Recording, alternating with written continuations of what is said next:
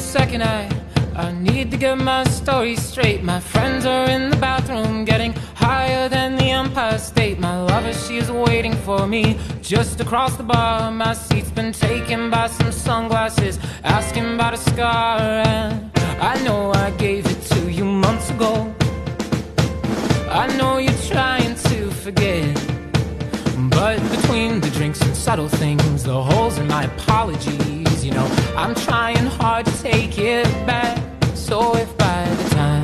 the bar closes and you feel like falling down, I'll carry you home.